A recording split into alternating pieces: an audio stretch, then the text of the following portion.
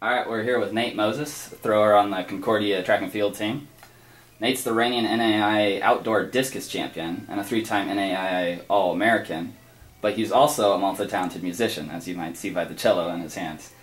Uh, Nate plays the cello, guitar, and sings. Uh, Nate, you said you're a little rusty at the cello, but Yeah. you said you can improvise for us a little bit. Can Yeah, you- I can give you a little imp- improvisation. All right, Um, go for it.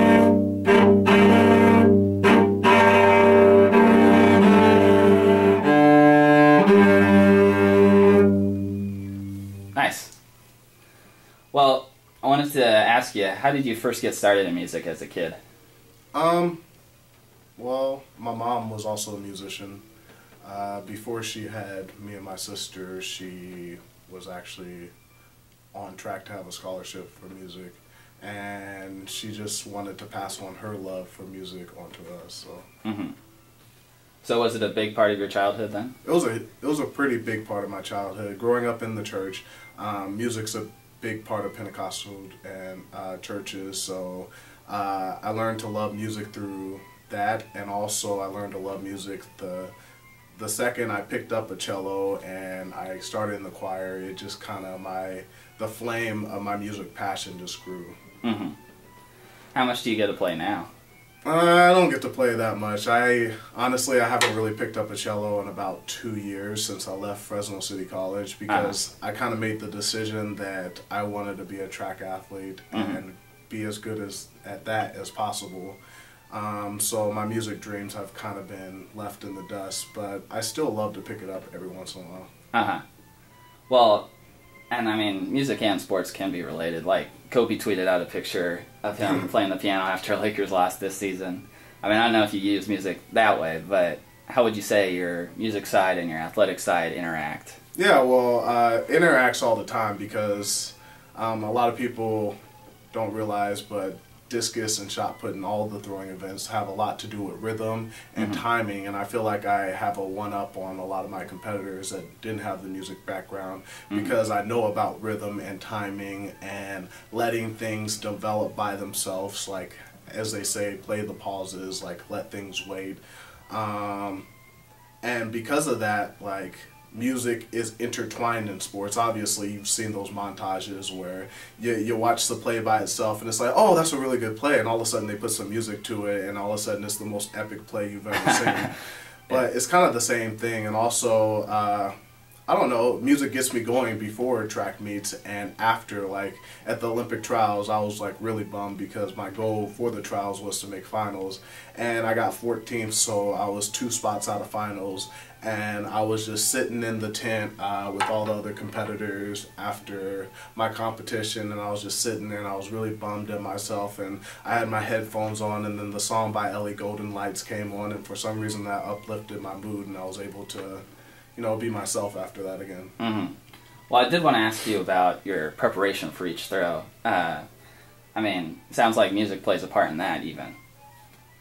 Um, yeah, uh, preparing to throw, like, there's, it depends on what meet you're at, but Uh-huh. there's, like, actual rules to having, like, electric devices Oh, okay. on the field at certain times, but when you're warming up, you're usually allowed to use your headphones and things like that, so Uh-huh. I actually usually, I use my theory that, um, of music where uh, a different tone of music can uplift you in a different way or bring you down in a different way. So instead of listening to country, I'll listen to like hardcore rock, like some uh, like some Lamb of God or some Disturbed, or and then I'll listen to some uh, uplifting hip hop that will also get me in the mood. Mood like um, like Royce um, Royce's song "Can't Nobody Stop Me." Like that usually Uh-huh. gets me in the mood because then it, it gets you in the right mindset. hmm Well, speaking of track a little bit, uh, you were all conference in the discus, shot put, and hammer last season. Uh, but you won the NAIA Outdoor Championship in the discus and competed in the discus at the Olympic trials, Yeah. US Olympic trials, like you said.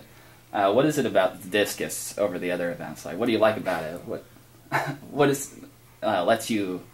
I mean, gives you that little extra edge, I guess. Um, well, I've been throwing the discus for a long time. Just like I started the, about the same time I started playing music, actually, um, around the fourth grade, when a lot of my development as a person started happening, and it was just there is it's the willingness to prepare that makes me different from a lot of other athletes. Because a lot of anybody compete and everybody wants to win but i go out to every practice every single day ready to prepare to win that competition. And a lot of times it's just like maybe like UFC fighters, you got one or two fights a year. I'm mm-hmm. only training for one or two competitions a lot of time a year. Right. And the rest of the year, I'm just, it's my mindset is to get to those competitions and to do the best I can. So, I don't know, I just feel like it's the drive and almost like the musician's mentality because, like, a lot of times uh, when I played music, we'd only have like two or three concerts a semester. So uh-huh. you practice every single day for yeah. those two or three concerts and then you come back next semester and you learn music, new music to do the same thing. You just mm-hmm. have to have that mentality. Mm-hmm. Well, that was one thing I wanted to ask about. Since, like, I mean, the competition's so concentrated for yeah. you know the throws. I mean, that would just drive me crazy. but I mean, obviously, you seem to handle it pretty well. Yeah.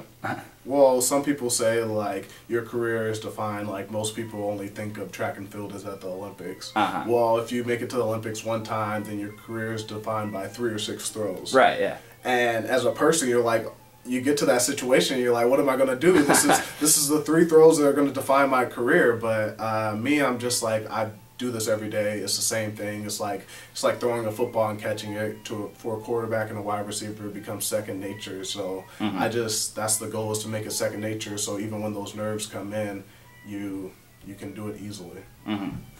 Well, it has to help to have your event coach Mac Wilkins, a former world record holder in the discus. Yeah. I I guess what has what has Mac helped you with since you've gotten to Concordia?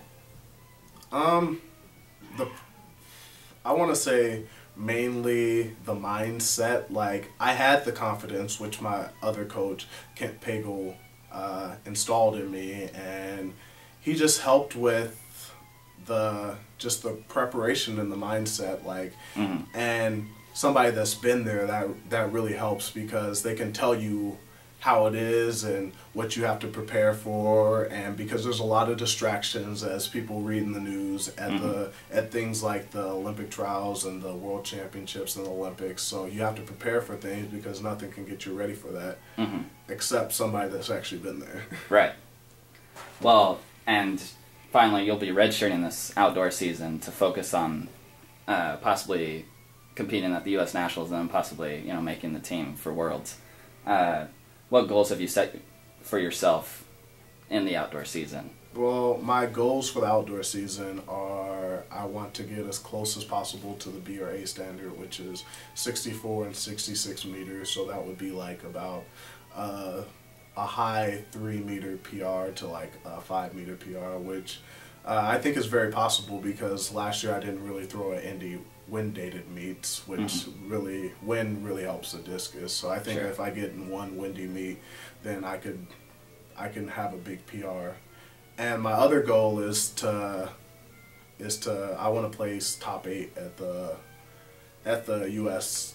Uh-huh. ATF nationals, and that's another goal. Like if you have to place top three to make the team, but I feel like I placed 14 this last year. If I can place top eight, then I'll just be one stepping stone closer each time mm. to my ultimate goal of making the Olympic team.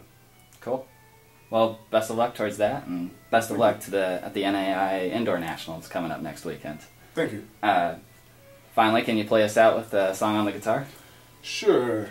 Um, the song was written by my friend Rick Marr, actually. Huh. Um, one of my buddies back in Fresno, and I really like it. I play it all the time. It kind of makes me feel better. So cool. Um,